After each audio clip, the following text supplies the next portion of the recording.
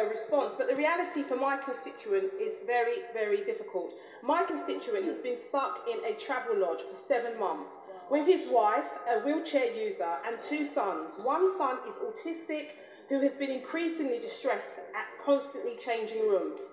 Mr Speaker, the number of families living in B&Bs for more than six weeks has increased by 180% in London in a year as councils struggle to find affordable accommodation for families on benefits. So can the government commit to uprating local housing allowance at least by the rate of inflation?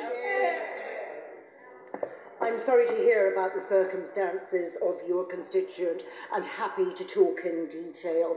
There are currently 1,200 families in B&B accommodation over six weeks. As I have said, we think that is inappropriate. We have made clear to local authorities that B&Bs are a last resort and they are an interim measure to more stable accommodation. Senator Sarah Elliott.